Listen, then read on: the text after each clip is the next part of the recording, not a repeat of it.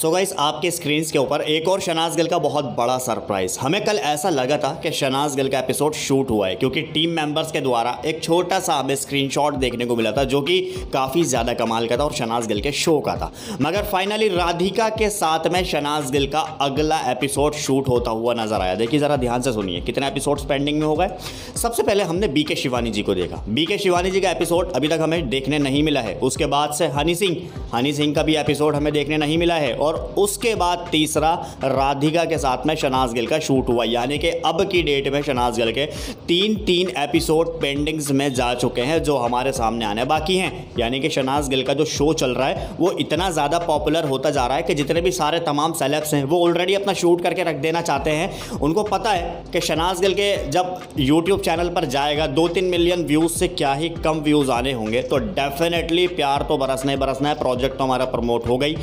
कैसा लगा आपको ये मोमेंट ज़रा कमेंट में लिख के बताइए।